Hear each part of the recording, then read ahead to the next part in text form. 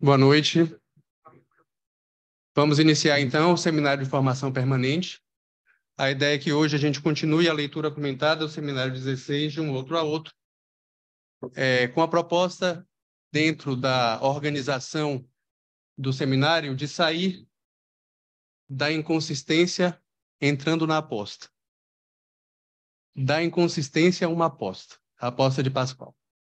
Com a ideia é que a gente trabalhe isso aqui. Hoje, é, com a aula 7, Introdução à Aposta de Pascoal, Pascal, é, teremos a apresentação de Marcelo Veras, compõe o cartel B, é o mais um do cartel B, que é composto também por Anistela Sandi, Analícia Calmon, Célia Salles, Fátima Sarmento e Newton Cerqueira, que estão aqui também, que poderão entrar mais à frente também na conversação. E Camila Abreu, associada do Instituto, que vai trazer a referência da parte maldita de Bataille. É, como a referência à Bataille está logo no início do capítulo, nós vamos começar com o comentário sobre a referência, com Camila Abreu, seguindo então para a leitura comentada a partir da fisgada de Marcelo Veras desse capítulo. Passo a palavra então diretamente a Camila Abreu. Vamos lá. Vocês me escutam bem? Tá tranquilo? Pessoal Sim. também. Então, primeiro agradeço, né, o convite. Muito bom poder estar aqui. Embora ainda não saiba muito bem como lidar com esse objeto fálico aqui, mas Vamos fazer o possível, né? O microfone, gente. Então, vamos lá. É, esse livro, que eu não sei se dá para vocês verem, acho que não dá na câmera, né? Dá? Deixa eu mostrar para vocês, porque eu vou extrair algo deste livro aqui, tá? É uma referência bem interessante, que é a parte maldita precedida da noção de dispêndio né, de Georges Bataille. Então, o título do, do meu texto foi Maldito Dispêndio, sendo que esse maldito eu coloco o dito entre, é, entre parênteses. Valeu, Luci. Falta saiu agora. Tá, mal, entre parênteses, dito dispêndio, dois pontos, o que isso tem a ver com o gozo? Esse é o título. Bom, pensando a psicanálise como uma experiência, ousaria dizer que no capítulo 7 deste seminário de Lacan, algo se liga à perda, que de alguma maneira se confronta com seus efeitos de gozo. Aqui ainda não sabemos de que gozo se trata, mas vamos avançando. Quando Lacan intitula este capítulo como a aposta de Pascal, interessei-me por tentar desvendar que aposta é esta, né? E então me deparo com a ideia do que Pascal postulou. Segundo ele, Pascal, supor a existência de um Deus é muito mais eficaz do que acreditar que ele não existe. Ainda que seja impossível, racionalmente, esta afirmação. Digo impossível porque o próprio Lacan se refere a Pascal como, como tendo tanto rigor e, ao mesmo tempo, propõe uma verdade que não existe, que não se sustenta. Né? Essa verdade, né? De supor a existência de um Deus é muito mais eficaz do que acreditar que ele não existe. Essa aposta. Na página 106, Lacan afirma que, à medida que nossa cultura avança, percebemos que o discurso não é uma coisa tão simples assim e que, ao montá-lo, algo de perda sempre aparece. Lacan se utiliza desta aposta para dar lugar entre o efeito da perda e o lugar do outro, com O maiúsculo, grande outro, sem o qual nada se produz. Nada se produz de sujeito, né? Não se produz, nada de sujeito aparece sem o outro. Na página 107, Lacan ainda menciona algo importante. Pascal nunca pretendeu fazer a aposta se sustentar. Ele diz isso. A ideia aqui é pensarmos a lógica da moral moderna e o quanto isso aponta e desaponta algo do humano, com moral ou sem moral, onde estará o sujeito? Onde estarão as duas perguntas que sempre nos deparamos no grafo do desejo? O que queres? O que, é, o que eu quero? Eis então algumas indagações sobre o pensamento de Pascal. Talvez isso ressoe como um enigma irrespondível, se é que existe essa palavra. Quando eu coloquei aqui, eu não sabia se existia, então eu coloquei que talvez não exista, mas eu posso ter inventado, né? Bom, agora irei me ater ao que me foi designado para o dia de hoje. Lacan cita Georges Bataille no capítulo 7, logo no começo, ele só diz uma frase, gente, mas vamos lá, né? Que eu fui pegando o que é que, que, é que ele soltou aqui, né? O que é que ele traz, esse cara, Bataille? Antes de qualquer coisa, gostaria de apresentá-lo, né? fui ver quem era ele, porque eu não, realmente não conhecia. Algumas pessoas já conhecem. É, ele nasceu em 10 de setembro de 1897, cresceu sem referência religiosa, mas se converteu ao catolicismo em 1914 pensando até em se tornar padre. Contudo, no início da década de 1920, ele renunciou ao catolicismo. Ele foi fundador de vários jornais e grupos literários, mas foi relativamente um desconhecido durante toda a sua vida. Aí eu fiquei mais apaziguada de não conhecê-lo, né? Depois que eu percebi isso, e o Lacan diz isso, eu falei, ufa, não sou tão ignorante assim. Então, se vocês não conhecerem, não se sintam mal por isso. Mas o livro é bacana, vale a pena. E é barato também, vale a pena dizer isso. Acho que é uns 34 reais, um negócio assim. Já faço a propaganda. É, uma boa editora, da Autêntica. Então, no capítulo 7, Lacan cita Bataille como... Ele só diz isso, tá? como um pensador marginal. Olha só o que ele diz. Um pensador marginal e que teve uma produção de livros, embora nem isso seja uma garantia de eficácia. Acabou. Aí eu fui né, tentar desvendar o que, é que ele está querendo. Mas tem muito a ver com o capítulo. Vocês vão perceber ao longo do tempo. Hoje nos concentraremos no livro A Parte Maldita, precedida da noção de dispêndio, que é esse livro que eu mostrei para vocês. É, a parte maldita ela é subdividida em cinco partes, em que o autor aborda a lógica de produção, de lucro e da acumulação, do excesso. Aí vai entrando um pouco na lógica tanto dos capítulos anteriores quanto, quanto desse, né, o sete. A palavra dispêndio significa justamente aquilo que se gasta, se consome e que há despesa. Batalha chama de criação por meio da perda, que funciona como um sentido vizinho ao sacrifício. Então, veja que, como no livro de Bataille, o significante perda, ele também aparece, né? Assim como no capítulo de Lacan. E foi aí que eu fui fazendo uma interlocução. Então, eu trago para vocês, né? Parece que o significante perda está aparecendo algumas vezes, né? Então, não percamos isso de vista, porque vai ser importante para continuarmos. Essa noção de despesa é o ponto que irei utilizar neste escrito, visto que podemos fazer um contraponto com a noção de gozo em Lacan. Mas que gozo seria esse? Né? Essa é a minha pergunta desde o início, é a pergunta que me movimenta. Lacan não chega a formular, né, nesse capítulo, que gozo é esse. Mas me interrogo se não seria o mais de gozar. Sigamos com Bataille para pensarmos juntos, juntos este enigma. Vamos pensar se dá para seguir uma lógica por aí. Bataille se coloca a partir da noção de heterologia, que seria nada mais nada menos do que uma perspectiva antropossociológica que se propõe a trazer uma ordem de compreensão de uma vida improdutiva e é o que é deixado de lado, desprezado. Para o autor, há uma lacuna entre o que é essencial e não essencial aos homens, justificando que no princípio da utilidade clássica material, a finalidade é o prazer. Então vamos lá unindo gozo, prazer, vai aparecendo. E nesta série de representações quantitativas ligadas à concepção de existência medíocre, a própria demasia de produção se mostra controversa, já que tamanho esforço se detém apenas ao prazer do excesso pelo excesso. Por outro lado, a atividade humana não é inteiramente redutível ao processo de reprodução, conservação e consumo.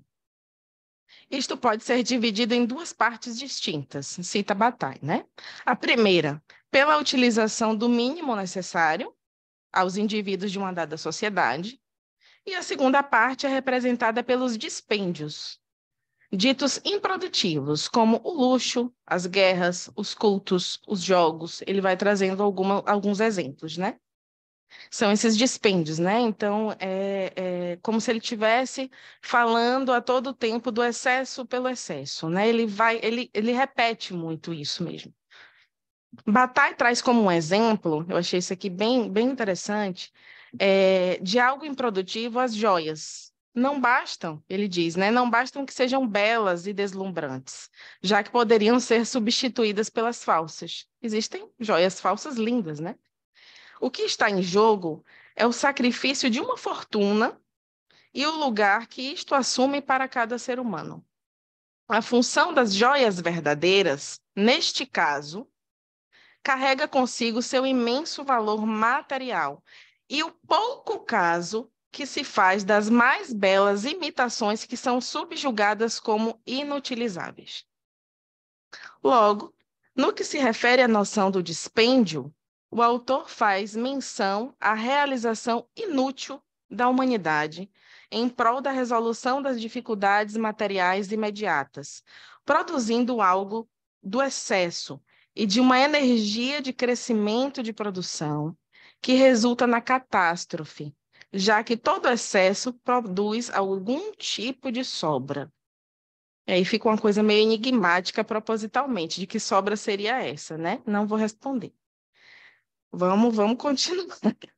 Bataille afirma que a história da vida sobre a Terra é principalmente o efeito de uma louca exuberância, o acontecimento dominante é o desenvolvimento do luxo, a produção de formas de vida cada vez mais onerosas. Então fica assim, né? Eu vou percebendo que ele vai fazendo uma crítica a essa lógica do discurso capitalista, né?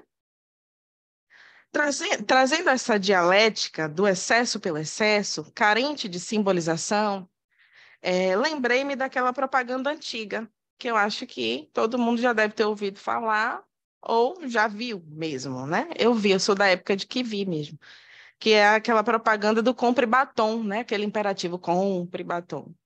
Um imperativo que certamente resultou muitas compras daquele chocolate específico. Aí depois eu fiquei me perguntando, gente, aquele negócio tem tanto açúcar, né? Ninguém se questionava assim, por que, que, eu, tô, por que, que eu tô comprando isso aqui? Né? A gente comia, acha ótimo, né? Hoje não dá, pelo menos para mim não desce muito, né? Não sei como é para as outras pessoas, mas é longe de ser um chocolate de verdade, né? É só aquele compre batom, né? Que entrava na nossa cabeça e todo mundo é, é, é, comprava o batom. Então, foi só para trazer uma interface aqui. Então, relacionando esta ideia, esta ideia à noção de gozo, apesar deste significante não ter sido utilizado com frequência na obra de Bataille, tá? Suponho que há uma certa vinculação com o capítulo 7 de Lacan. Mas que gozo seria esse? Pergunto de novo. Talvez um gozo, uma suposição minha, sem interrogação. É aqui que me arrisco a falar do mais de gozar.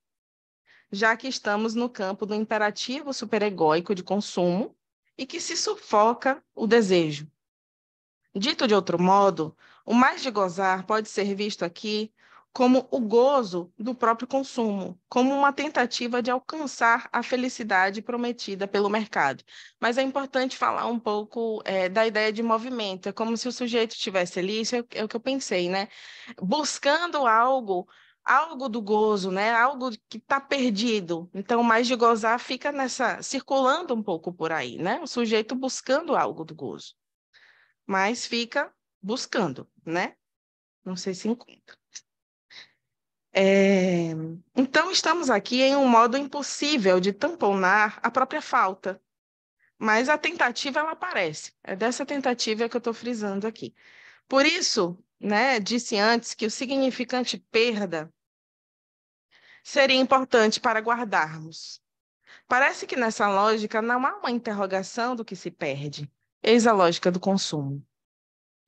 Seguindo com a ideia de Bataille, a noção de despesa improdutiva se baseia em uma política social e econômica a partir da lógica material. Diante disso, podemos considerar que os restos, como produtos da atividade humana que possuem um valor erótico, de gozo, mas, tende a ser, mas que tende a ser desprezado. Quando o autor se refere à heterologia, ele fala dos restos e dejetos que resultam no resgate do desprezo e inutilidade. Por isso, que ele questiona a utilidade clássica, fazendo referência à seguinte questão: o que se situa para além do prazer? Provavelmente ele deve ter lido Freud, né? Ele também questiona qual a finalidade dos homens quanto ao interesse é, financeiro, religioso, já que isso só faz mascarar a desordem intelectual de um sistema completamente fechado.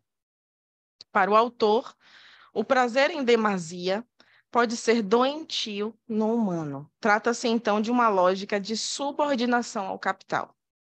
Levando em consideração este dito, retomo Lacan, quando diz que o gozo ao qual se refere é masoquista, e sua relação com o corpo não é qualquer uma.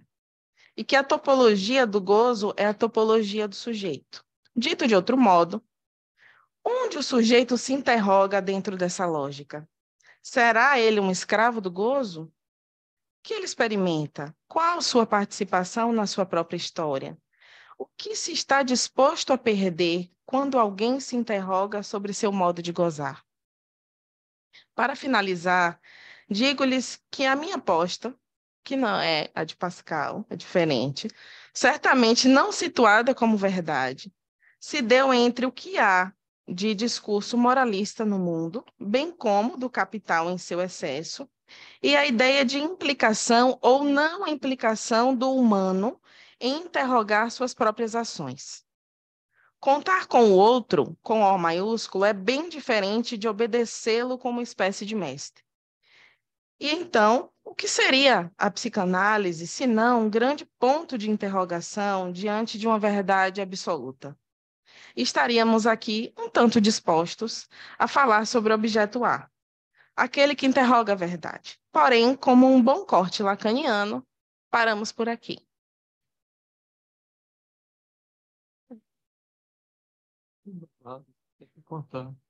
Poxa, eu achei que você fosse contar o babado. babado. Não sou eu que conto babado? Tá. Olha, o babado sobrou para mim. Gente, é uma fofoca. A gente que gosta de fofoca. É. Silvio? Pois é, gente. O Batai era casado com essa criatura. O Lacan foi lá e sarrupiou. Gente, não, não tem condições. É o Ricardão. É, não, foi o né? Porque vai ser assim, que ficou com a mulher do cara. Então, essa é a fofoca, gente. Pai da Judite. É o pai da Judite. Aí, Marcelo sabe a fofoca boa, eu tô sabendo assim pela metade. Mas eu ri muito com essa fofoca. É bom contar fofocas de Lacan e. Bom, passado o momento fofoca, que é curioso, porque Camila vai falando sobre Bataille na referência que Lacan faz e diz que Bataille escreve sobre os nossos negócios. Eu não sei se o negócio é bem dele, né? Ou foi surrupiado. É. Bom, passo a palavra então, Marcelo Veras. Tá ótimo. É, eu, eu pedi até para Camila, Camila começar, porque Camila tinha lido para a gente esse texto no sábado, e eu queria que vocês ouvissem um texto de Camila bem despertos, né, antes de dormir, porque está muito bom, né, Camila? Assim, a gente discutiu muito no cartel, né, no sábado, preparando para vir para cá. Textinho prontinho para ser publicado, está todo redondinho. ele está ótimo. E o, o, cartel, ele, ele vem se batendo, obviamente, com, é, com essas questões.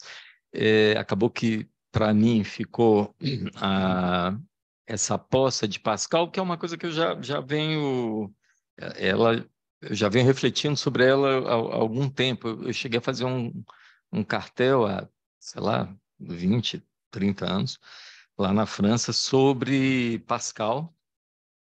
E então, assim, retornar a, a isso no momento atual, eu acho que é, é muito, muito oportuno, Lembrando, então, eh, então inicialmente, que é, Lacan ele vai, ele, ele não faz menções muito, digamos assim, Lacan ele começa a citar Pascal na obra dele aos 63, 64 anos. Ou seja, não é uma leitura é, como Spinoza, por exemplo, que Lacan foi lá aos 18 anos, não é uma leitura é, que parece que, é, que, era de imediato. Ela, ela amadureceu essa leitura, é, principalmente a partir da primeira menção, que foi nos problemas cruciais da psicanálise, né, no seminário 12, onde é, nesse seminário 12, o, o, Lacan vai dizer da aposta de Pascal, ele vai nomeá-la como uma tentativa desesperada de resolver a questão do desejo do outro. E ele vai dizer que foi um fracasso.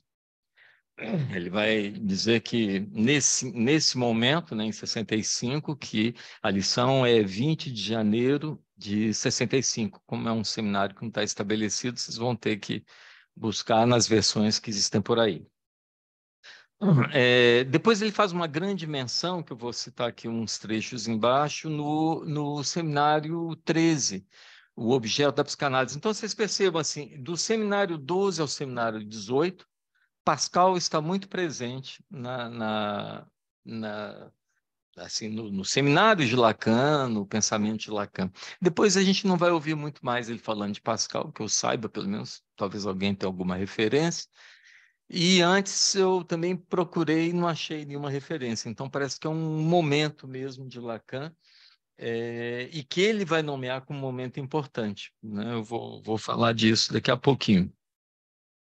Uh, obviamente, depois tem o seminário 17, é, o seminário 16, perdão, que é de um outro ao outro, que é onde eu vou me deter um pouco mais, porque é ali que ele realmente se dedica à aposta de Pascal, é, e de uma maneira completamente inédita, ou seja, o modo como, como Lacan vai abordar a, a proposta de, de Pascal, eu discuti com alguns amigos, eu tenho alguns amigos filósofos céticos que eu, que eu discuti, é completamente distinta do que se pensaria a questão da crença no outro, ou na crença em Deus. Né? Lacan vai colocar muito mais a aposta no lado herético, no lado ateu, do que no lado é, da, da crença no outro.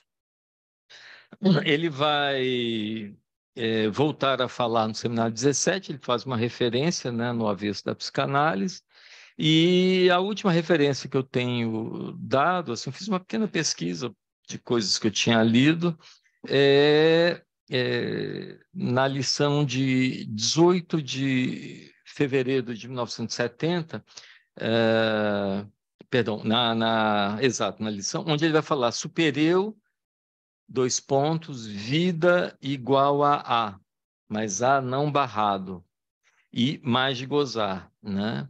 Depois ele ainda vai fazer uma referenciazinha no discurso que não seria do, do semblante, né? Ou seja, a... por que, que eu considero isso um ponto, um ponto é, crucial? Porque, como o título né, do, do, do seminário é, 16 fala de um outro ao outro, de um grande outro ao outro, é, ele vai é, se apoiar muito nas questões que, que estão nessa aposta, né? que eu vou ler um pouquinho aqui para vocês. Né?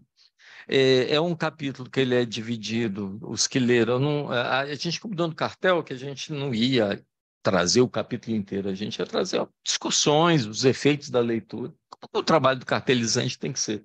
Então, não, o que eu trouxe aqui são minhas questões que são até minhas divisões subjetivas, minhas questões que eu não, que eu reflito um pouco. Não, não existe nada canônico aqui. O cartel não comporta, né?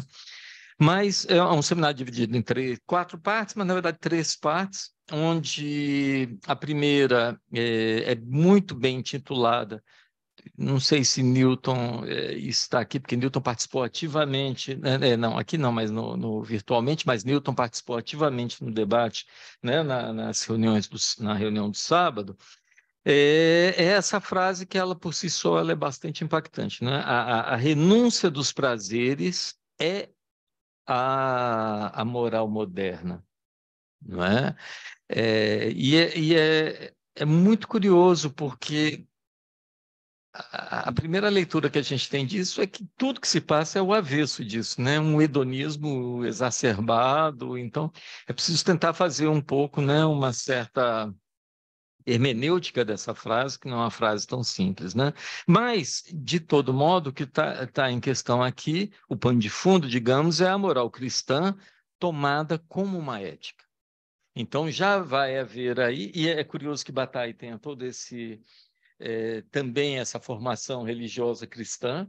Eu acho que nesse sentido, entre outras coisas que ele compartilhava com Lacan, é, tinha também essa questão de conhecer um pouco melhor uh, a, a, moral cristã. Né?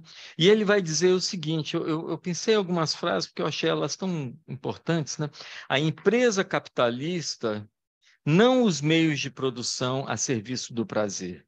E aqui é, para mim, a meu ver, há para Lacan uma ruptura com Kant, né? que ele havia é, avançado. Na verdade, essa, essa ruptura de Kant já estava anteriormente né? É, na publicação do texto Kant com Sade, né? onde ele vai fazer essa diferença. É... Vou escrever aqui.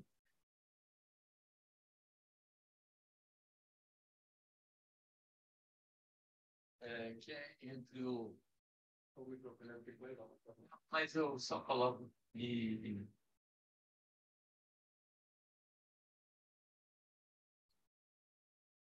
Tá bom, Marília da Grande? Ou seja, das é, que é sentir-se bem e que é muito mais conectado com o hedonismo, e o das gut, que é o bem.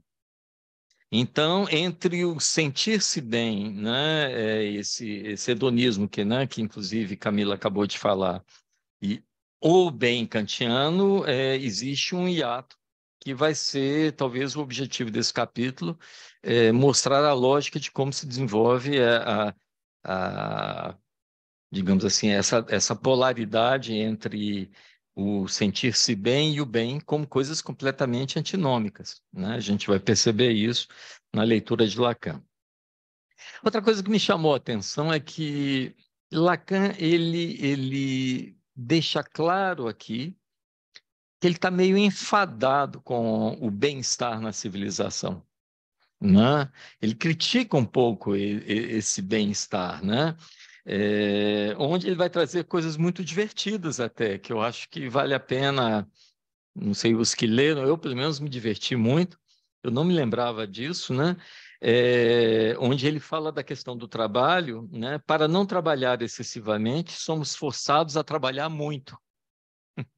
eu achei isso muito curioso, ou seja, um certo ascetismo do prazer que, né, que partia da premissa de que haveria um bem em algum lugar e que esse bem teria a ver com a lei. Então, trabalhem bastante que no futuro, após a morte, vocês vão encontrar o que vocês procuram. Né? É, mas o que a gente percebe aí é, é uma certa ruptura, pois não é mais assim é, que as coisas funcionam dentro dessa moral cristã.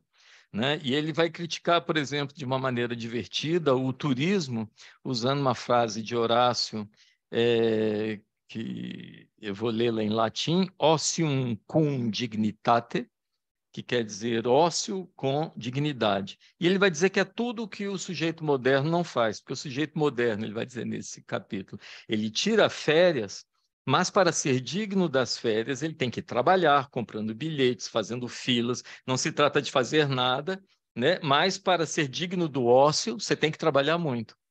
Não é? é e é curioso porque eh, tem uma, uma palavra em francês que a gente não tem a, a equivalência né, no português, são duas línguas latinas, é que preguiçoso em, em francês a gente fala feignant.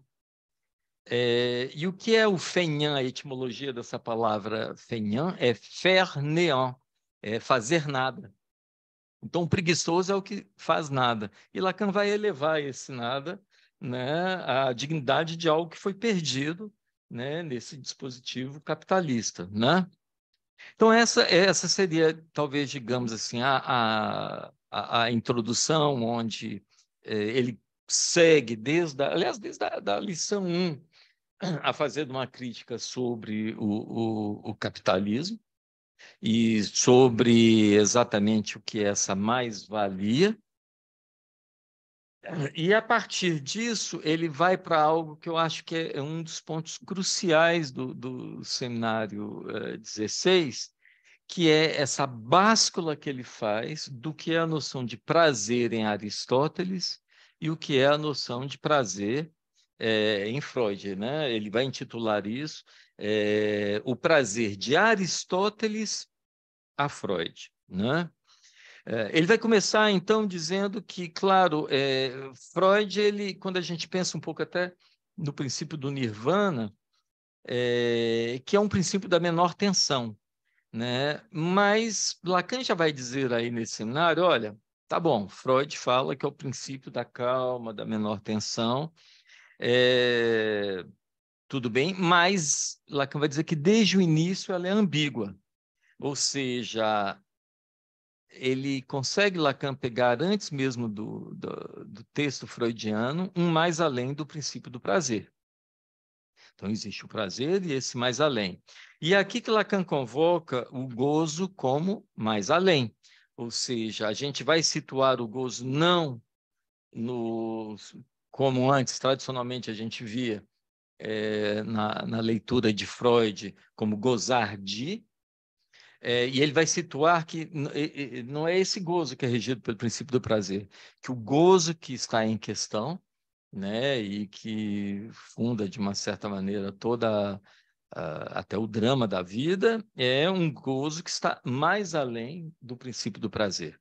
Então, já aí há uma, uma distinção radical entre o que seria o prazer hedonista e o prazer é, freudiano, não é?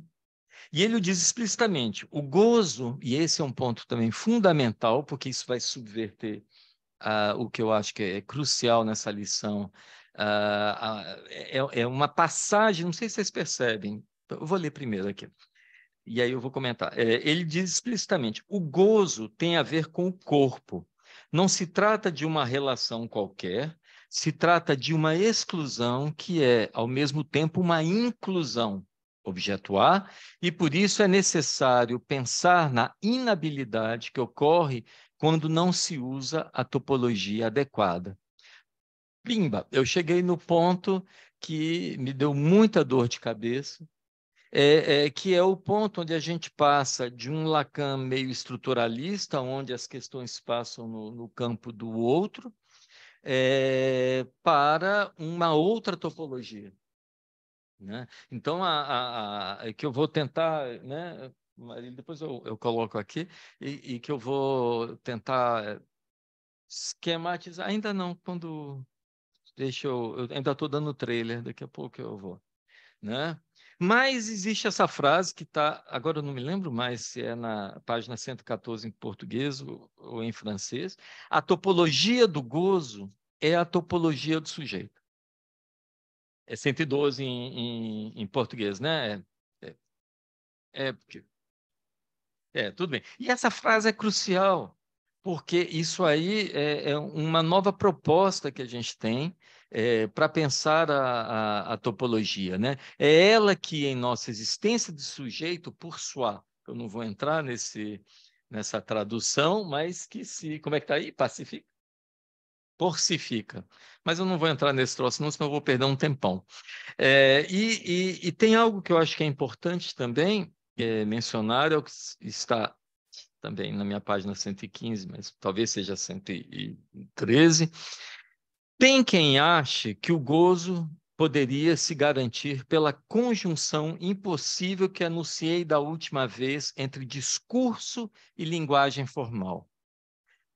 gente, isso é fundamental, ou seja, a distinção entre é, discurso e linguagem formal é, a, é exatamente a distinção entre o sujeito e a língua do outro. Né? A linguagem formal, aquilo que as palavras do outro. Então, aqui ele já coloca o discurso é, é, numa relação de não de alienação, mas de separação né, do outro, do simbólico. Eu acho que isso é, é fundamental. E essa maneira de pensar está ligada, estou lendo Lacan, ao equívoco de pensar que todos os problemas do gozo estão essencialmente ligados à divisão do sujeito. Poxa, isso é interessante. Daí se conclui que, eh, erroneamente, que se o sujeito eh, não fosse dividido, nós encontraríamos o gozo. Né? Então, isso faz todo uma, um capítulo da psicanálise que é de colmatar né? a psicanálise que Lacan tanto combateu, né? a psicanálise do ego, que é de colmatar essa divisão, tentando pro, propor uma reconciliação do ego com o gozo. Né? E Lacan ele vai, desde a ruptura dele com, com a IPA, ser insistente nisso. Né? O sujeito cria a estrutura do gozo, mas tudo que podemos esperar disso são práticas de recuperação. Isso quer dizer que aquilo que o sujeito recupera nada tem a ver com gozo, mas com sua perda. Tem um filme que eu adoro, desculpem, os novos, os velhos vão se lembrar, Marcela, que trabalha no cinema, sabe muito bem disso, é, Invasões Bárbaras. É, Invasões Bárbaras tem uma, uma cena que eu gosto muito, que Remy, o personagem principal, está ali meio fudido, perto de morrer, está mal para burro, e ninguém sabe o que fazer com um amigo. E aí uma das personagens, das amigas de Remy, fala: Ah, já sei, eu tenho uma. Minha filha é traficante de heroína. Eu vou chamá-la para tentar resolver aqui o problema de Remy. E aí tem uma cena que é antológica, que chega aí a traficante, e Remy lá sofrendo com câncer, morrendo de câncer, e aí ela vai injetar a injeção de heroína. E ela diz uma frase que eu acho que é incontornável. O Pablo, que trabalha muito com, com a toxicomania, vai pensar talvez como eu. Ela vai dizer a frase seguinte: aproveite muito essa primeira dose de heroína, porque todas as outras vão ser uma tentativa de recuperar essa dose que você nunca vai conseguir é, recuperar. A partir do momento que você tem essa experiência com gozo de heroína, tudo será perda. Né? Você não mais vai conseguir é, ir adiante. Né? É, e aí, é claro, Lacan vai dizer uma frase, ele não faz a menção, mas a gente vai encontrar essa frase, é, aqueles que gostam muito, né, que leem muito, né, o Will, que é uma pessoa que escreve muito, é, que é Fernando Pessoa, ele vai dizer uma frase, vou dizer em francês, on ne peut tout de même pas à la fois manger son gâteau et le garder. Ou seja, a gente não pode ao mesmo tempo comer o bolo e guardá-lo né? É, que é uma, uma frase de Fernando Pessoa, ele não faz essa evocação. Né? E ele vai dizer ainda: creio ter anunciado bastante, desde o começo deste ano, que o mais de gozar é diferente do gozo. Então, aqui ele já faz uma, um, uma distinção muito grande.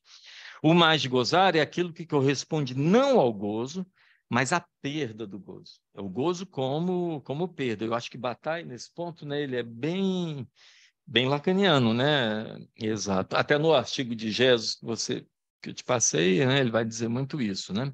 E como isso? Na medida em que dele surge o que se torna a causa conjunta do desejo de saber e da animação, animação no sentido de, de um corpo vivo, né?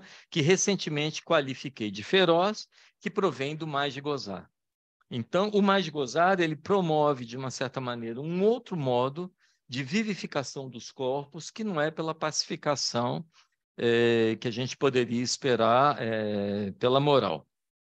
Ou seja, psicanálise, ela, ela, se ela tem alguma coisa a ver com essa aposta de Pascal, é, e aí que a gente vai ter que entrar, é pelo efeito da perda.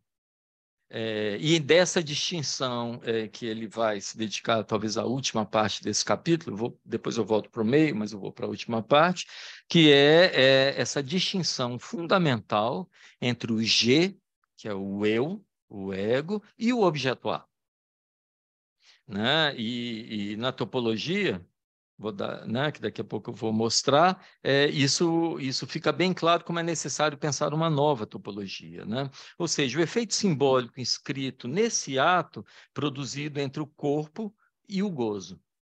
Lacan aborda a aposta de Pascal, então, a partir disso, mas ele começa lá no seminário 16, digamos, a formalizar o que vai acontecer é, até mesmo antes, até no, no, no seminário Objeto da Psicanálise. Ele vai falar relação entre o efeito da perda, o objeto perdido, que Lacan chama de objeto A, e o lugar outro.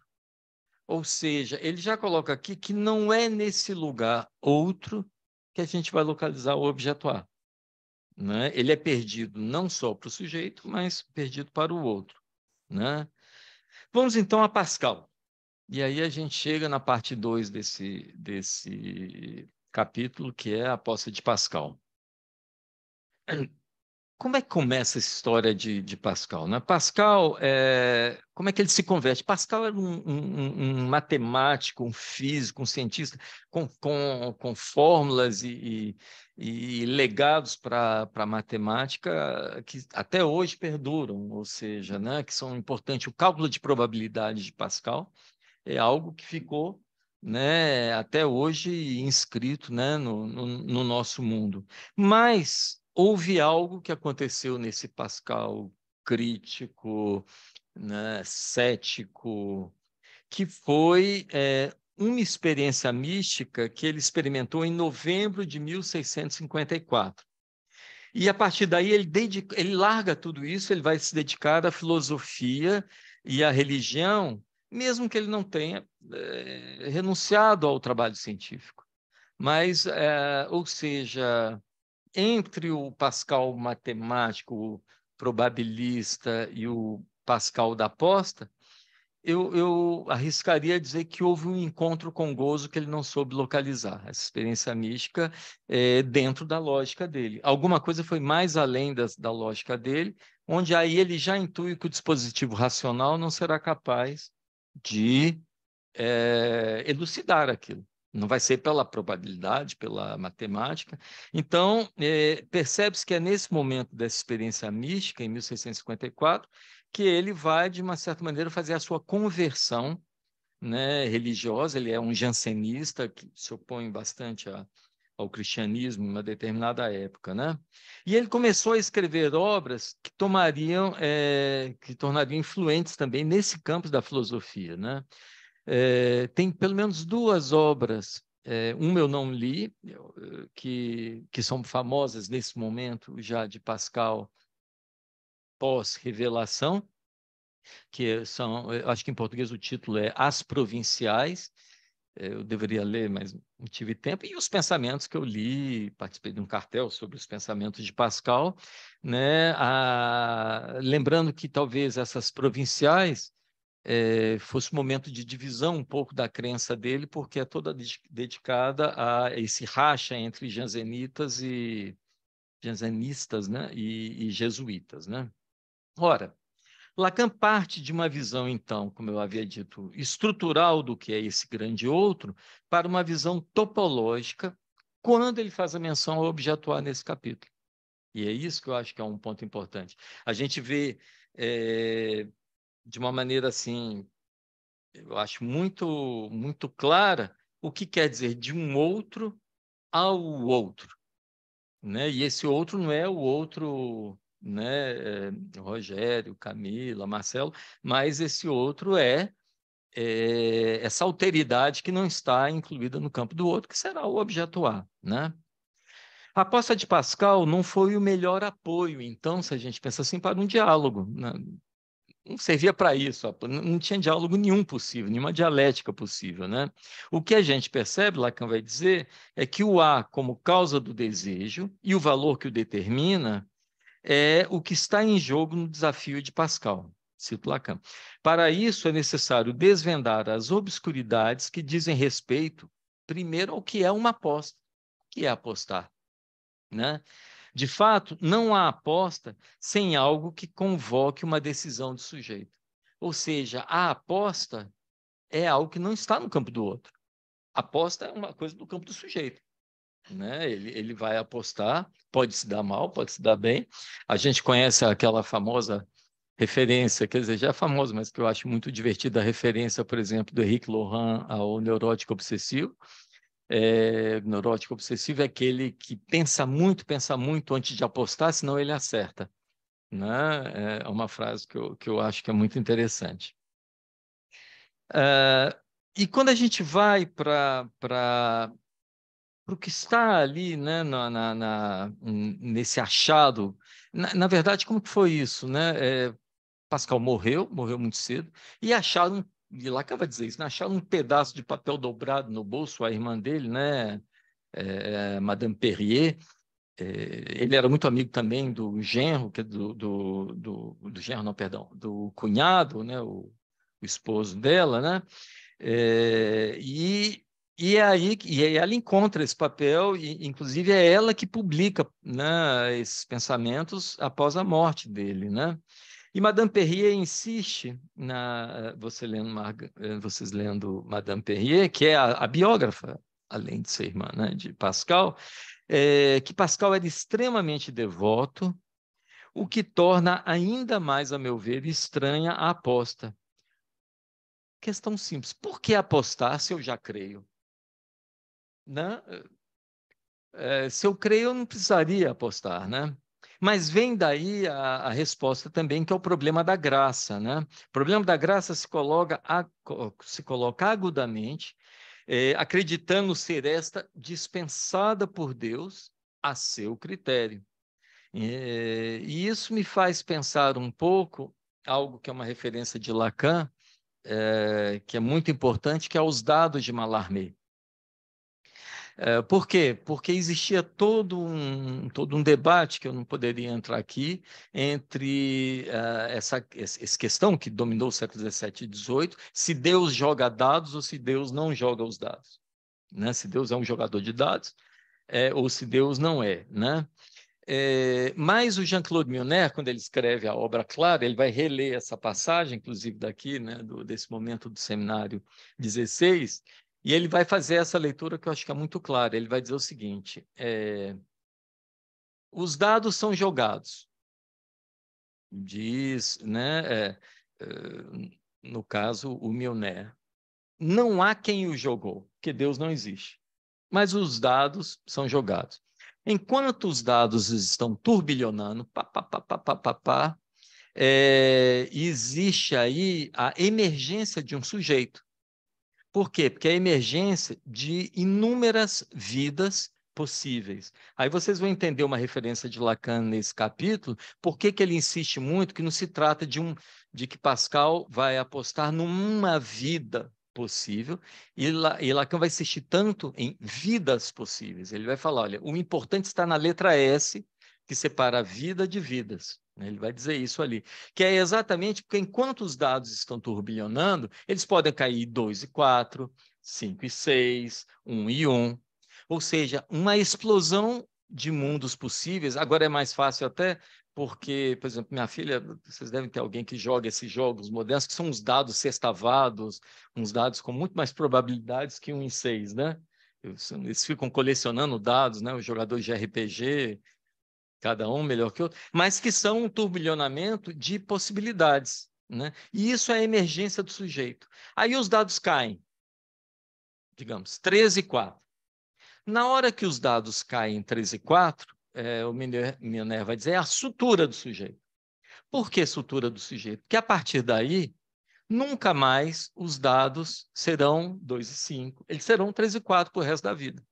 Ou seja, aquilo que começou de uma contingência, podia ser qualquer coisa, no momento da sutura do sujeito, se torna necessidade. A grande questão é que a necessidade é, que vigora a partir daí, talvez seja o papel do psicanalista, é de mostrar que essa necessidade não tem a ver com o jogador dos dados, que é Deus, o grande outro, romance familiar, o que quer que seja, né? mas é uma mera contingência. Então, uma psicanálise ela deve sair da necessidade que configurou os números 3 e 4, que a gente não vai mudar, que é a sutura, nossa sutura de sujeito, que é de onde ele vai extrair toda a teoria, inclusive do Santome, né? com TH, mas de mostrar que esse turbilhonamento uh, é, é, simplesmente contingência, que havia uma contingência que autorizou né, essa necessidade. Vixe, tem tempo? Tem. Uh, vamos lá. É... Então, bom, falei dos dados, né? É, só mais um pouquinho aqui no pedaço de papel encontrado, então, nesse bolso, né? É, pós-mortem, recuperado pela irmã, Pascal também faz uma analogia da aposta com um número infinito.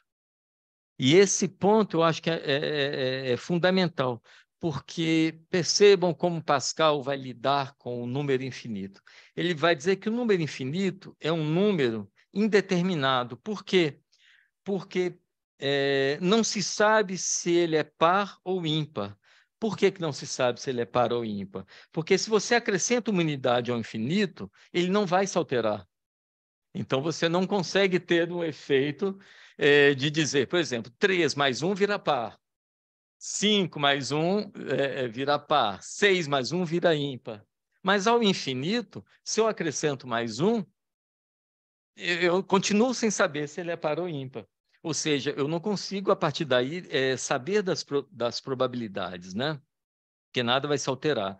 Não há, então, consequentemente, um significante que o defina, pois cada significante, é, o resultado é o mesmo que um vazio de respostas. Né? Daí que ele acaba concluindo que a existência de Deus pode ser conhecida pela fé, mas não a sua natureza pois há no homem uma incapacidade em conhecer o que Deus é e até mesmo se ele existe. Se há, aí é uma frase né, que está aqui né, de Pascal. Se há um Deus, ele é infinitamente incompreensível, pois não tendo partes nem limites, ele não tem nenhuma relação conosco. Então ele coloca uma relação de alteridade extrema entre, entre Pascal e Deus, é, que não é o que a gente percebe na relação entre o sujeito, como vinha sendo tratado agora, e o outro, o grande outro, que era um outro que você podia fazer trocas, é o outro da demanda. Aqui ele vai, ele vai mostrar, Pascal vai mostrar que é um outro que vai mais além da demanda. Não adianta pedir. É, esse objeto não é um objeto de troca, né? Ou seja, isso aí foi o que deduzo, Deus é sempre S1, porque ele nunca convoca um S2. Não é possível ter um S2 é, sobre Deus, né? Então, como diz né, é, Lacan, como Deus é, perdão, como diz Pascal, como Deus é incognoscível, é, se propõe que, as, que a aposta seja inspirado no mesmo dilema que, no fundo, a aposta de Pascal, ela tem precedentes precedentes, inclusive que Lacan eu acho que conhecia mais do que o próprio Pascal, pelo que me parece, é, porque Lacan tinha uma leitura profunda de Platão e Sócrates, não vou dar uma de Rodinesco, não, eu estou chutando, mas é, de, de, uma certa maneira a gente percebe que Pascal entra bem mais tardiamente, né? Aristóteles, banquete, ele está falando tudo aquilo ali, Platão, bem antes, né? Mas é, é no Fédon que a gente vai encontrar a mesma questão de Pascal. Eu vou ler aqui um pedaço aqui, né? que mostra um pouco, é, que, que, que eu achei lá, que é a defesa de Sócrates, né? feita por Platão. A morte só pode ser uma entre duas coisas. Ó, bom para nós, né? Saber que a gente tem pelo menos dois caminhos. Ou a morte é o fim de tudo, ou a morte é um começo da nova vida mas é indecidível. Você não sabe dizer se é um ou outro, a menos que se morra. Então, se a gente morre, a gente consegue saber se é um ou outro, mais tarde demais. É, no entanto, é possível, exato, usando recursos retóricos, fazer a balança pender mais para um lado. Sócrates argumenta que, caso nada exista, depois, digamos que não aconteceu nada depois, ele vai simplesmente morrer tomando cicuta, será na melhor das, na pior ou na melhor das respostas, um fim para os cansaços e as dores da, da, da velhice. Né? Pois ele está velho. E o que vale também para aqueles que eh, não se preocupam com o que virá depois da morte? Se, ao contrário, existir vida após a morte, ela, isso é Sócrates, ela necessariamente será diferente para aqueles que viveram corretamente. Nesse caso, Sócrates estará sempre ao lado dos melhores. Ou seja, Sócrates já colocava que a renúncia aos gozos mundanos, é, aos prazeres mundanos, seria uma aposta né, no que viria depois. Né? Bom, de qualquer modo, a, a morte será para Sócrates um bem e não um mal. Isso a gente pode estar certo também. Então, isso vem diante de Pascal. Não é possível, contudo, equacionar o problema pela razão né? E aí ele se distancia um pouco de Descartes. Né? As chances de ocorrer uma ou outra coisa são as mesmas. Contudo, é possível introduzir algo que faça uh, a diferença, que é o modo de viver. Ou seja, a questão que Lacan traz no capítulo sobre a moral capitalista, antes de Pascal, então já estava é, em Freud, ou seja, essa renúncia ao hedonismo como um, um, algo necessário na relação de objeto, que é um seminário anterior ao outro ao outro, tem uma, uma passagem que eu gosto. Em nenhum lugar no que eu lhe disse hoje está a aposta, já que a aposta está, na aposta de Pascal, sobre a existência do outro. A estrutura que a aposta de Pascal apresenta, acrescenta Lacan, é a possibilidade não só fundamental, mas eu diria essencial, estrutural, ubíqua, em qualquer estrutura do sujeito, que o campo em relação ao qual a reivindicação do objeto A, que é o objeto desejo, que é estabelecida, seja o campo do outro como dividido em relação ao próprio ser. Ou seja, há aí uma divisão em questão.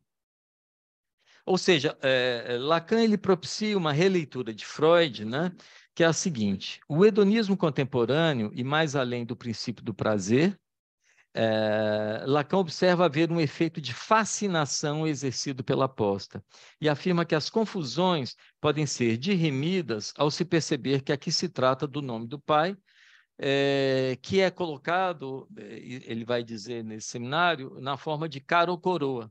É uma probabilidade ou a outra, mas é, é, a, a, probabilidade é sempre a mesma, né? Ou seja, a, a escolha está em questão né? que é a escolha existência ou inexistência do outro. O que a existência promete e a inexistência permite é exatamente a aposta. A aposta coloca algo que se refere ao real absoluto, que é sempre uma contingência, como eu falei na questão dos dados, mesmo que seja a origem da necessidade. Trata-se do que não se pode saber se é nem o que é. É infinito versus finito pois, segundo Pascal, sabemos que há um infinito e ignoramos sua natureza, mas não sabemos o que ele é. Pode-se, pois, reconhecer que há um Deus sem saber o que ele é. Se entre o homem e Deus há um caos é, infinito que nos separa, sem poder recorrer à razão, possibilidade humana, para resolver a questão resta a aposta, pois os humanos nada sabem sobre o que os leva a apostar. E aqui é interessante porque a gente tem que pensar, então, que se nós somos humanos, se vocês e eu somos humanos, nós já estamos apostando.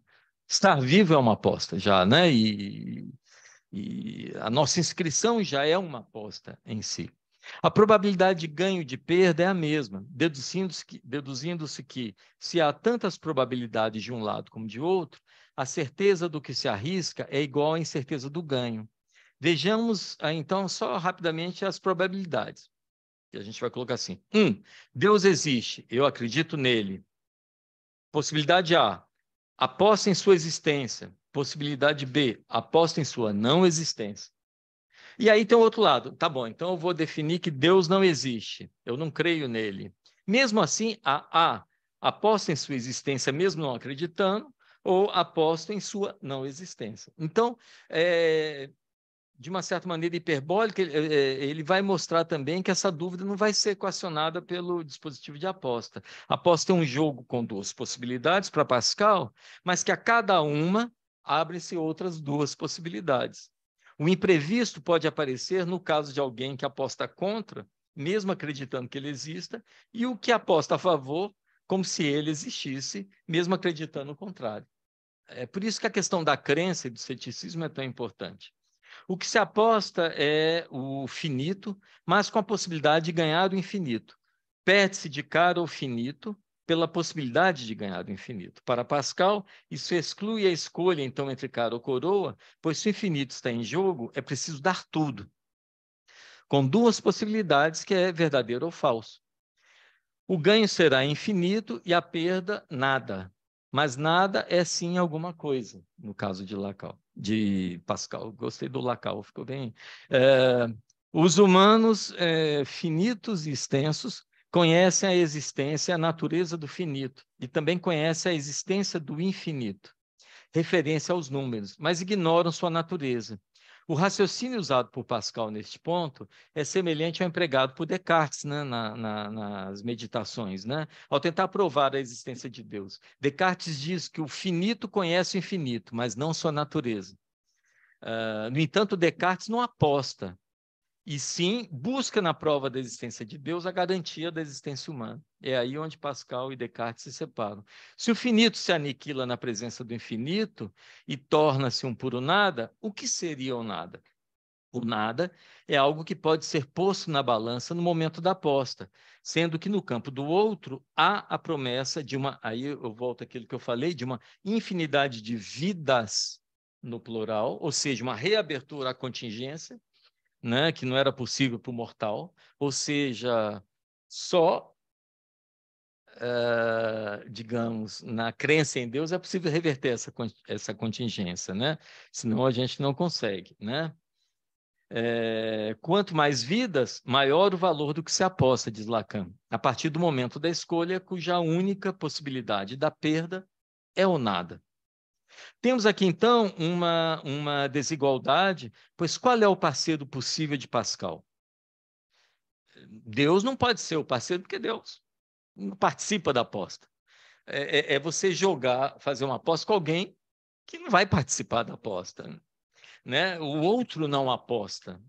E desse paradoxo resulta que o valor apostado se confunde com a existência do parceiro. Ou seja, eu faço existir o parceiro ao apostar nele.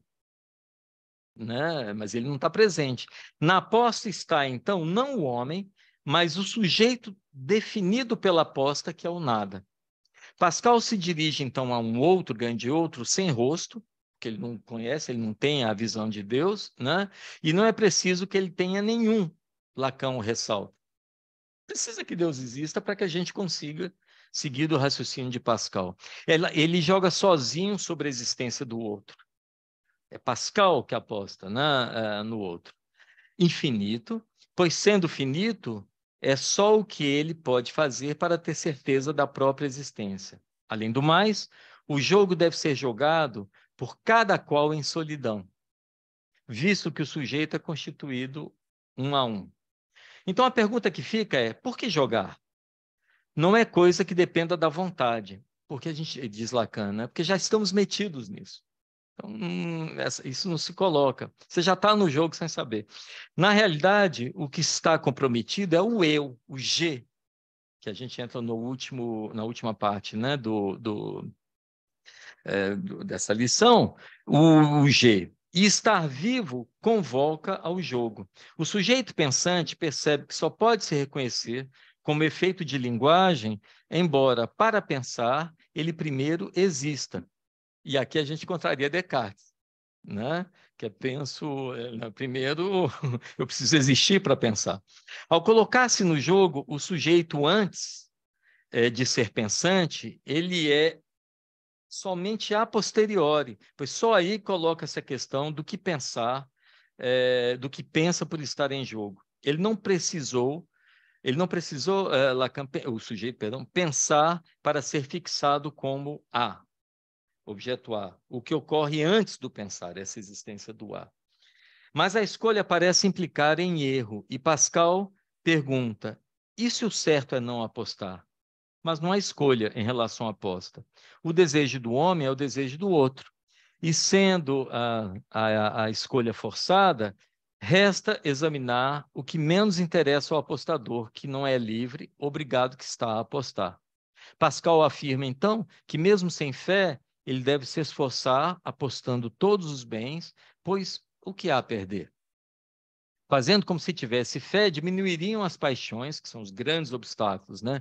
O indivíduo será fiel, honesto, humilde, reconhecido, bom amigo, sincero, verdadeiro, e assim ele já ganha nessa vida. Eis o que se arriscou, é um moralismo horroroso, né? Ainda bem que tem SAD para contrabalancear, né? É, fazendo com que se tivesse fé, diminuiriam as paixões, paixões no sentido de Spinoza no corpo, né? Gran, né? É, ou seja, é, eis o que se arriscou, então, ao apostar em algo certo, infinito, pelo qual nada deu, a não ser o nada, que não é zero, pois aí não haveria aposta e nem jogo. É preciso separar o zero do nada.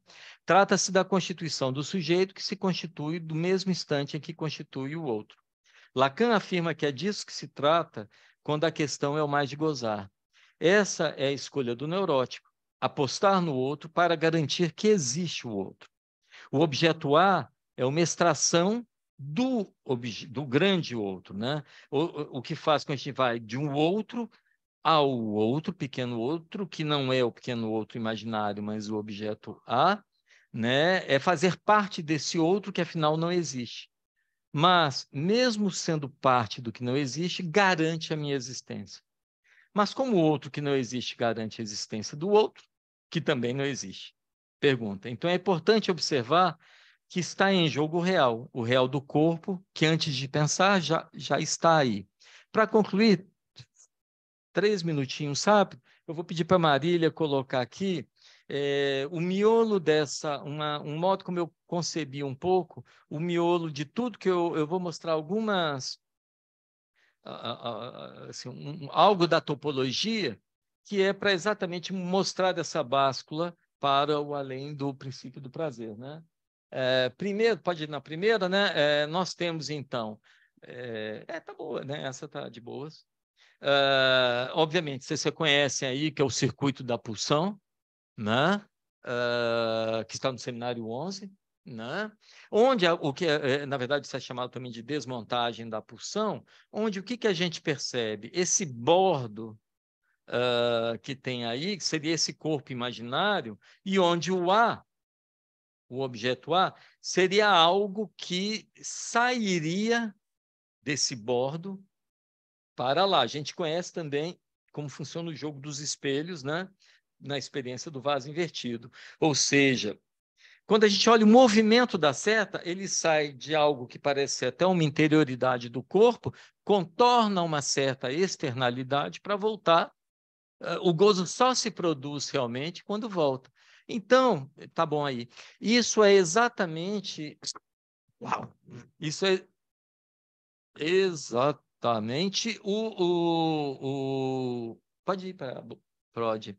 Para o modelo freudiano, que vocês vão encontrar, por exemplo, na teorização da libido, que está em Introdução ao Narcisismo. Ou seja, a libido, né, vocês vão se lembrar de algo que é chamado de a ameba protoplásmica.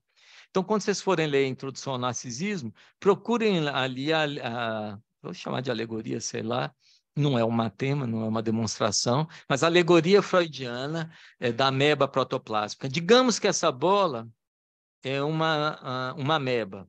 Eu faço isso em homenagem à minha mulher, que é parasitologista. Vamos lá, vai para a segunda. Nós vamos perceber que se esse na, na, no modelo no modelo inicial da libido, de introdução ao narcisismo, nós temos um corpo, uma interioridade das pulsões e uma externalidade é, dos objetos que vão estar no campo do outro. Porque você não está no sujeito, está no campo do outro, não é? Pode passar mais um, vou passar isso bem rápido.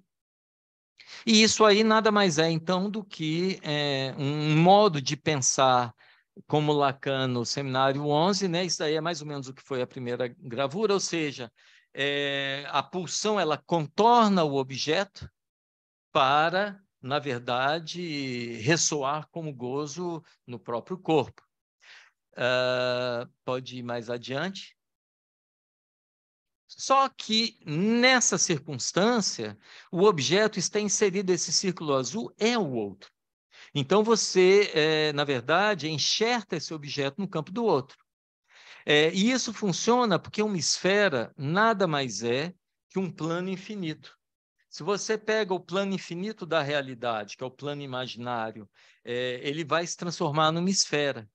Só que Lacan, em 1966, quando ele reescreve o esquema L, por exemplo, ele vai dizer que esse plano, que é o plano que concebe, que constrói o modelo freudiano de libido, ele não é um plano simples, pode ir o próximo. Ele é um plano moebiano, não é? E pode mais um. O que é um plano moebiano? Né? Eu acho que você clica na apresentação que vocês vão entender. Bote aí para apresentar, Marília. Não vai ver? Bom, ele vai caminhar e ele vai chegar no outro lado, não é? Vamos tentar ver? Passa.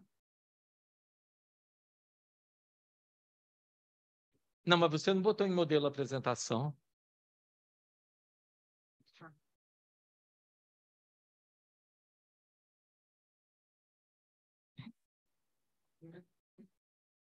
Esse não tem.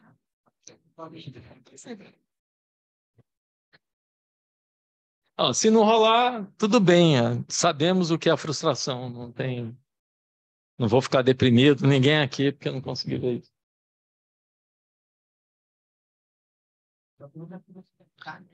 Mas não compartilha aí, nesse caso. Bom, vamos lidar com a frustração, senão não tem espaço para o debate. Tá ótimo. Ah, ele até apareceu em outro lugar aí. Ah, criatura. Pronto. Pronto. Ora, o que vai acontecer. Vamos voltar para o próximo. Ora, o que, que eu estou querendo dizer? Se esse plano, é, que seria o plano da MEBA. Opa, tem um barulho aqui, alguém está Aí chegou, chegava no aplicativo da mulher no celular dela. Ah, isso é horrível quando acontece. Vamos lá, o aplicativo da mulher deu errado. Vamos lá. Pode ir aí. Pode colocar, então. O que a gente vai perceber é que se a gente aplica a torção moebiana, nós vamos ter, não é uma esfera, mas nós vamos ter essa forma que é a, a, aquilo que a gente vai chamar, pode ir adiante, Marília, a garrafa de Klein, né, que é um instrumento que já tinha sido amplamente desenvolvido é, nesses anos. Quer ver? Pode ir para o próximo. Né? Não está indo? Não, mas aí você sai do modelo apresentação, deixa quieto. Faz um. Vai como for. Né? Ou seja, a garrafa de Klein, é, e aí quando a gente vai ao próximo, vamos ao próximo nós vamos ver que o que está em jogo no seminário 16 é essa distinção de duas topologias. Uma topologia freudiana que inclui é, o outro como condição necessária para o objeto, e essa condição, que é a garrafa de Klein, que o objeto ele é perda e recuperação, ou seja, o objeto ele é ao mesmo tempo que eu, eu tento recuperá-lo, ele é perda em mim, né? Pode ir para o próximo para concluir, já concluindo mesmo, Rogério, é, nós vamos perceber o seguinte, que se o plano moebiano fosse recortado, e aí ele se tornaria um plano simples, como é a proposta de Freud na, na, na ameba protoplásmica, nós conseguiríamos separar bem o que é do campo do gozo, né, é, com o imaginário que é o corpo, do campo do outro. Só que quando a gente aplica o infinito ao esquema L, vamos a ele, e aí eu acabo. Percebam, o esquema L está aí. Mas, é, como na posse de Pascal, é, no finito ele funciona, que é no corte. Mas quando vamos ao infinito, o que nós vamos descobrir não é o outro. Nós vamos simplesmente descobrir a reversibilidade né, entre a entre de um outro a outro. Então, mais ou menos o, o que eu trouxe para o debate. É isso aí, obrigado.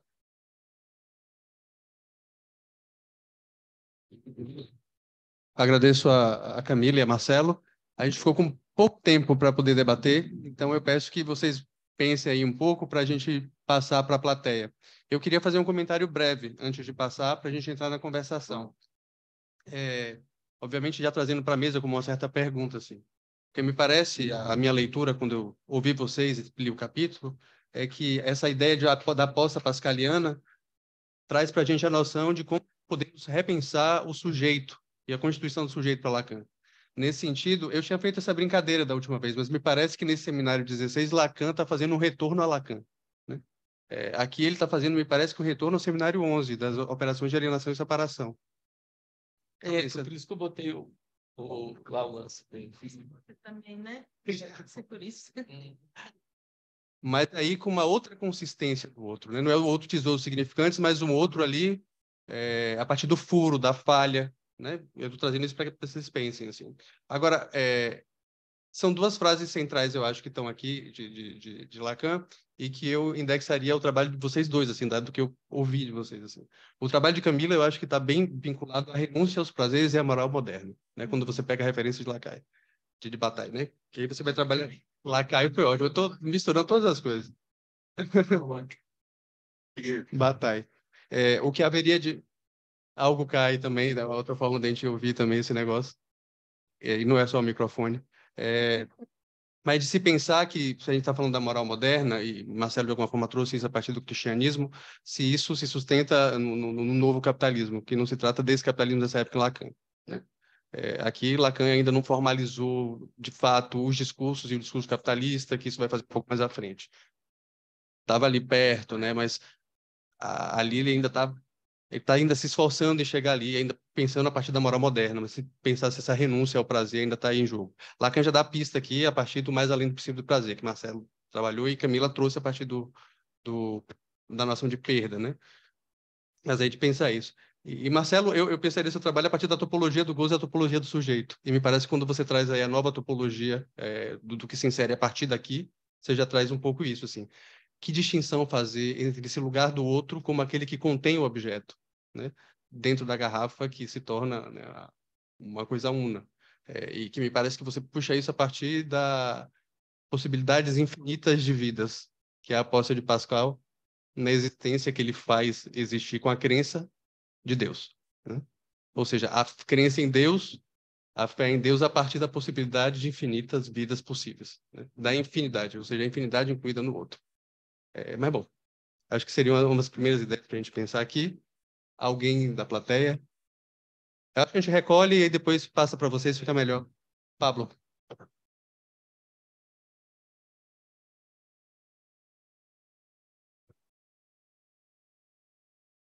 Obrigado, gostei. Muito, muitas, muito instigante. Uma primeira coisa, uma imagem que me veio, é, se com Des, de, se com Descartes eh, Deus jogava os dados eh, com Pascal, os sujeitos são os dados, estão aí, mas com, com Pascal some Deus e é necessário o ato de jogar os dados né, para que faça o jogo. Não, não é sim o ato de jogar. Entendo quando, quando você falou, fica essa, essa cena bem forte. Eh, agora, quando se joga os dados, eh, enquanto estão no ar, me, me, me veio uma ideia agora que foi há muito tempo, mas acho que a vertigem de quando estão no ar, o tema da vertigem, e do acontecimento só, só depois quando se sanciona como, como a verdade do, do ato. Se me lembro bem, o Pascal chega a isso a partir do, do, do confronto com o abismo real. O risco de cair, acho que ia na, numa carroça e, e quase cai num abismo. A partir dessa experiência, eh, que ele se abre a partir da, da contingência disso para essa aposta. Se me lembro bem. Mas uma pergunta que uma coisa que não elaborei, mas quando você falou dos modos de aposta, me, me, me, veio uma ideia. A ver, na ideia de Pascal, eh, o que a gente aprendeu a chamar de psicose e neurose, colocar no conjunto da psicose, da neurose da perversão. Se, se, eh, que o psicótico, aquele que apostou na não existência do outro, o perverso que apostou na existência e o neurótico na inexistência do outro. Uma primeira aposta a, a reverse numa análise, mas uma questão um pouco espontânea.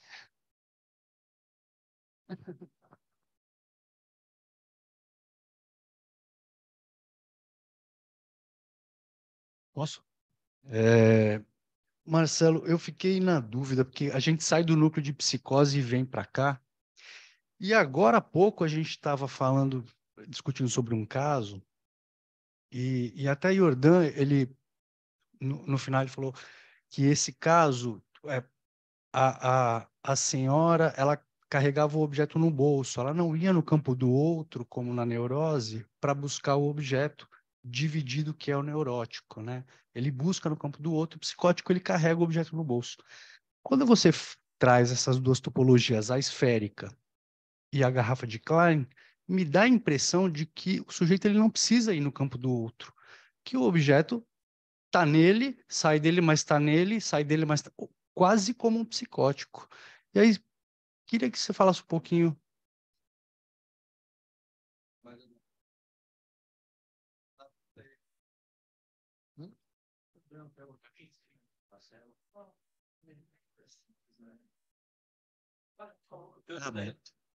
A bolsa, a bolsa ou a vida e o eu e o objeto.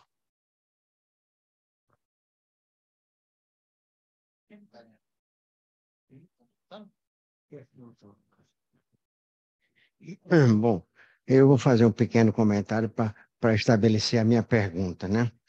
É, a partir da, da colocação de Camila, Bom, antes sinalizar que as contribuições de vocês foram riquíssimas, né? Bom, mas a, você colocou assim, onde estará o sujeito? E eu apenas acrescentei assim, onde estará o sujeito frente às suas escolhas? Porque ele está sempre frente às suas escolhas, né? E, e esse frente às suas escolhas traz duas questões que são, é, por, por falta de palavra melhor, estruturais por exemplo, em qualquer escolha há uma perda e em qualquer escolha há o risco. Não há como fugir do risco e não há como fugir da perda. Né? Então, é, quando, quando Pascal traz essa questão, ele tenta buscar uma resposta para isso e também não encontra, né? Porque ele começa com a que eu chamo com a famosa história: Deus existe ou Deus não existe? Eu achei interessante um detalhe, porque ele disse assim: Deus existe ou Deus não existe, não há garantia nem de uma coisa nem da outra. Então fica não possível de decisão, né? Bom, mas aí ele vai dizer assim: bom, podemos apostar em Deus existe, podemos apostar em Deus não existe. Se a gente apostar em Deus existe, se a gente apostar em Deus existe, a gente vai ter uma vantagem danada. A gente vai ter uma certa garantia de que vai ter uma vida na parousia quando morrer, para lá, para lá, para lá. Mas também vai ter uma perda enorme, porque ao acreditar em Deus, isso tem consequências na, na sua na diminuição de suas possibilidades de escolha também, porque implica em você precisar seguir rigidamente o que foi predeterminado por no caso, Jesus Cristo, que se colocou como filho de Deus, mas que também entra na mesma dúvida: é filho de Deus mesmo ou, ou não é um filho de Deus como outro qualquer? Enfim. É, mas eu, achei interessante que ele, que ele parte para um segundo aspecto que eu, acho interessante, que eu achei muito interessante. Ele tenta buscar o melhor possível. Ao invés de definir se Deus existe ou Deus não existe, a segunda pergunta que ele se faz é o que é melhor para a gente? É melhor a gente acreditar ou é melhor a gente não acreditar? E ele, ele, ele enumera várias vantagens de acreditar e depois enumera várias vantagens de não acreditar. Ou seja, também no próprio jogo de probabilidade não havia uma possibilidade de decisão. 80% indica que é melhor apostar, 20% somente apostar na, é, é provável de apostar na outra. Não existia essa coisa. Enfim, não era normalmente algo assim. Mas o, o que me parece é que essa es- a escolha traz claramente a questão do gozo, né? Traz claramente a questão do gozo. E nós sabemos que os discursos, aí eu vou agora fazer a pergunta. Os discursos visam gozo. É, a psicanálise tem um discurso diferente e que se coloca um pouco como avesso dos outros discursos. né? Então, eu queria saber o seguinte, a pergunta. É, afinal de contas, a psicanálise visa o gozo e visa a ampliação do gozo, ou a psicanálise visa alguma mudança no gozo, ou seja, o mais de gozar é o mesmo que objeto causa de desejo? Tem uma questão chat. Pega a questão? Acho que ele pega, vamos essa questão do chat. Tá. Pega essa questão do chat e retorna à mesa. Se vocês estiverem ainda vivos, talvez a gente faça uma prorrogação. É, tem uma questão aqui de Giovana perguntando: hoje há mais um gozo pela prescrição do que pela subversão? Bom, retorno então à mesa, Camila e Marcelo. Esse aqui. São, são algumas questões tão, tão importantes né, para o debate. É, eu acho que isso serve tanto para o núcleo de psicose como, como para tentar responder a Pablo. É, mas é uma, uma conjectura minha. Pascal, ele levou a fundo a questão do infinito. Mas a fundo mesmo, seriamente. A tal ponto que ele se, não sei se existe em português, existe, né? Desarrimou? Não. Desamarrou, se desenraizou da linguagem e, e porque ele foi tanto em direção a esse infinito que ele se desenraiza da e aí ele tem uma experiência mística que é um efeito foraclusivo. Para mim, essa experiência mística de, de Pascal não é a causa necessariamente, é o fracasso é, ele vai, ele vai, ele vai, e ele não se contenta com o que ele tem, ele vai. Aí chega um momento que ele, ele, ele se evade do simbólico, ele não tem mais condições de, de, de dar conta daquilo. Então, a experiência mística de Pascal, a meu ver, seria uma experiência feminina. Seria algo como algo de um certo gozo suplementar, que, é, obviamente, é, não deu para fazer aqui. Eu cheguei a pensar em fazer, mas Rogério me mataria. Mas eu tenho tudo preparado. Seria uma uma assim uma comparação entre a aposta de Pascal e o jogador de Dostoiévski, que é exatamente aquele que joga, joga, joga. E o que o mantém vivo é o gozo de jogar, né? O final do, do, do jogador é, é algo que nos, né, de Dostoiévski nos deixa meio perdidos, né? É, então, essa é uma, uma ideia que eu, eu imagino aqui. Né?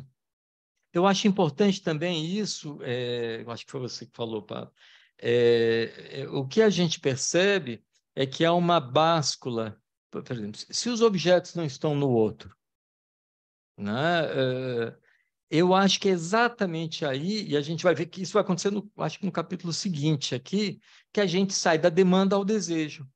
Que o que faz a gente bascular da demanda ao desejo é que enquanto a gente está no registro da demanda, a gente tem um outro consistente. E aí, de repente, você desconstrói, desbasta esse, né? É, o outro não vai te dar isso. Só te sobra o nada, aposta no nada. E o nada é o desejo. A gente né, tem no mundo moderno duas maneiras de lidar com, a, com, com o nada: a frustração e o desejo. A gente percebe que é, se a gente leva esse fracasso e não ter aquilo que a gente quer para o campo da, do outro, a gente vai estar na frustração que a OMS chama de século XXI, século da, da, da depressão, né? Eu acho que o século XXI é o século do mal-estar na civilização, porque é o século, o século onde, por excelência, se, se mostra que o sujeito não terá aquilo que ele quer. Isso é uma ideia. Tem uma coisa, Mário, que eu acho que é muito interessante, não sei se vocês vão se lembrar, quem não viu aqui, não deixe de ver que está no YouTube. É... Como é que é em português? Rendezvous chez Lacan? É... Encontro com Lacan, tem com legendas e tudo. Uma das partes mais bonitas, todo mundo fica falando no, como é, no, no Apo e tal. Eu, eu, eu conheço, mas para mim a parte mais bonita do, do, desse documentário é a do Antônio de Tchatcha, que era um, um seminarista que estava na Bélgica e começa a se analisar com Lacan e se tornou um dos maiores psicanalistas da Associação Mundial de Psicanálise, né? Assim, incontornável ali de Tchatcha.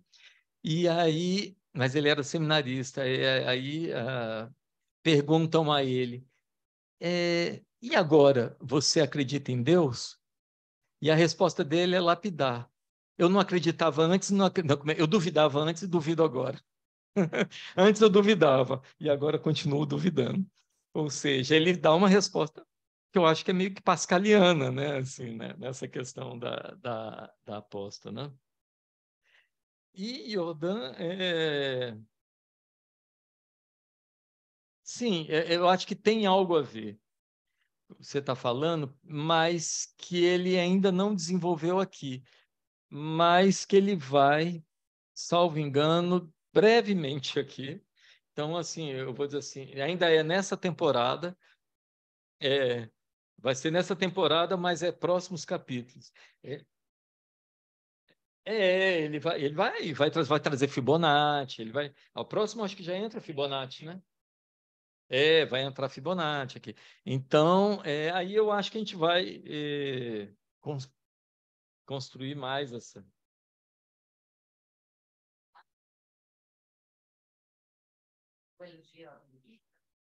Sim, claro e ele ele tem ele tem o ócio com dignidade. É ele, hein? É, o, o, o ócio produtivo, né? Mas eu acho que o ócio você vê que não está muito certo esse negócio de ócio também, assim, né? Disseram. Se matou com a filha de Marx, os dois se, é. se suicidaram juntos como como Stefan Zweig, a é. mulher. Eu estou escrevendo né, um livro sobre suicídio, eu cito esse, esse suicídio lá, né? como também é, de, um, de um psicanalista bem conhecido, é, que se suicidou lá em Barcelona, né, em 2022, e que fez uma carta belíssima é, do suicídio, é, onde ele vai falar isso também, olha, eu, não sou eu que estou abandonando a vida, eu amo a vida. É a vida que está me abandonando, porque ele estava mal, estava doente, né? E ele disse, eu, né? Eu não é uma, é uma, né, uma opção dele, né, que é, é muito bonita essa carta, né? E, e, pensando um pouco no que Camila falou, Camila, que eu queria também saber, é, eu, eu, me lembro que Marcos André Vieira, ele tem uma tradução para gadgets, é, que eu acho genial, não sei se você se lembra, talvez, é futilitários. Né? Os futilitários né? que, que estão aí. Então, assim, é, é, eu acho assim que essa contribuição da heterologia ela é atualizada na heterotopia do, do próprio objetual. Não sei se você concorda comigo, mas eu acho que na, essa expressão heterologia, né? Eu não sei se você conseguiu chegar à raiz meio que etimológica de onde ele foi pensar isso, ou se não, né? Mas é porque é um conceito assim, não é tão simples, né? Ele não tinha, não era psicanalista, não é? Não é um conceito simples, né?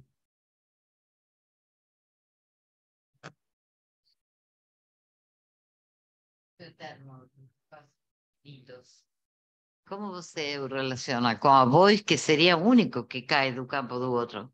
O único objeto. É, com, esta, com esta mística de, de, de Pascal que você. É, que eu acho que lá, lá, embora eu, eu, eu precisaria checar no momento em que isso foi escrito, mas quando ele fala assim, eu sou de onde vocifera, né, a voz do nada, né, a pureza do não ser, né, essa vociferação é, é, que é quase um urro, né? né? Essa, é, eu acho que traz um pouco dessa questão, quer dizer, a, a vociferação é, é, é, é, a voz sem as palavras, de uma certa maneira. Eu penso um pouco, né, quando a gente lê a Odisseia, eu sempre gostei daquela passagem é, que é, Cirnes né, chega para Odisseu e diz assim: Olha, se você quiser atravessar o mar, saiba que existem as sereias, e o canto das sereias vai levá-los para o pior. Então, é, você, mas você quer ouvir o canto das sereias? Então, se amarre no tronco, né? porque senão você vai embora e cai no, no, no precipício. E eu acho que o psicanalista tem um pouco essa função, a gente tem que ir né, além, né, como Tiresias, né, a gente vai até esse, esse infinito de falta de palavras, mas a diferença é que quando a gente vai até resgata um pouco os marinheiros que estão lá, que são nossos analisantes, às vezes muito extraviados né, em S de abarrado, aí que a gente tem uma certa segurança de onde a gente está partindo, acho que isso é importante. A gente tem uma certa amarra, porque senão a sereia nos leva mesmo. Né? É, a quantidade de, de poetas que se matam exatamente porque avançam tanto no campo é, da, da, falta de sentido e que não conseguem voltar mais para o campo do sentido. Né? Mayakovsky mesmo, ele diz, o barco do amor se partiu, por exemplo. São frases muito interessantes. Esse negócio daqui. Então, gente, a gente está com o horário bem avançado, né? Então, não falarei muito. Eu acho que é, foi bem interessante trazer a aposta de Pascal, né, que é a, a, ideia do, do capítulo. Por isso que eu falei, fala primeiro, Marcelo, para não correr o risco de ocupar muito tempo. É, mas, Mário, eu fiquei pensando assim, quando você falou, eu falei, gente, como é que eu posso falar alguma coisa para Mário? Porque você ainda não caiu como mestre para mim, então Mas eu pensei em alguma coisa. Quando você fala, né, do, do mais de gozar e o objeto causa de desejo, eu fiquei pensando, né, foi algo que, que me ocorreu, se o encontro com o analista não daria aí um, um certo lugar para essa questão, né? Porque o sujeito, quando está no mais de gozar, é, assim, eu fico me perguntando se há sujeito ainda. É uma questão que eu estou começando a, a, a, pesquisar e elaborar, né? O que, que é? E quando ele começa a se interrogar, Aí a gente já vai para um outro campo, né? E o objeto causa de desejo é uma outra coisa, né? É o que a gente vive tentando também procurando o tempo todo de algum modo, né, numa trajetória de análise. Então eu fiquei pensando nessa nessa interface entre uma coisa e outra, né? Foi algo que me ocorreu. E o que você trouxe, Rogério, da moral de antes, da moral de agora, me parece que é diferente, até porque a gente está numa época né, em outro século, mas tem algo que se repete, né? Que é, é, eu anotei aqui, né? Essa renúncia do prazer, né? Essa renúncia do prazer como moral moderna, que foi algo que o Marcelo trouxe, é algo que, de um modo ou de outro, se repete, né? Inclusive, agora a gente tem não sei, uma igreja em cada esquina, né? Todo canto a gente vê uma, uma igrejinha, uma coisinha, sempre tem, né? Então, é, me parece que isso daí prevalece, continua, mas não, dá, não conseguiria pensar agora que, que lógica teria mudado de lá para cá. E aí, Marcelo trouxe algo também sobre a heterologia. Não dava, né, aqui para esmiuçar sobre isso, eu não me arrisquei, eu só fiz assim um flash e esperei que ninguém fosse falar, perguntar sobre ele, vem no final, traz, e aí eu vou ficar devendo essa. Porque a única coisa que eu pesquei aqui foi algo que é, o Bataille traz do, do desprezo da vida improdutiva, mas claro que é muito mais do que isso, né? Não dá para dizer que é só isso e cair nesse reducionismo. Então, essas são as minhas contribuições, gente. Já avançamos muito no horário. Eu queria agradecer muito a Marcelo e a Camila pelas contribuições aqui para a gente seguir. É, seguimos com a aposta de Pascal ainda nas próximos, nossos próximos encontros. É, e me parece que vai ser importante a gente poder pensar também que um, um dos obviamente, uma das leituras possíveis desse seminário é Lacan tentando ou se esforçando em transmitir o que é o discurso analítico, né, que vai, de alguma forma, aparecer no seminário seguinte também de, uma, de um modo mais preciso, mas ele está tentando situar um pouco disso. Que a gente não perca de vista que, por mais que ele retorne aí a, a Pascal e tudo isso, tem algo da Constituição desse sujeito, do qual o Lacan está se interrogando aqui, desse novo estatuto do outro, da nova topologia, que concerne especialmente a prática analítica. Então, não é disso, não é diferente disso que a gente está falando aqui. Bom, a próxima aposta, então, na próxima semana. Tchau, tchau.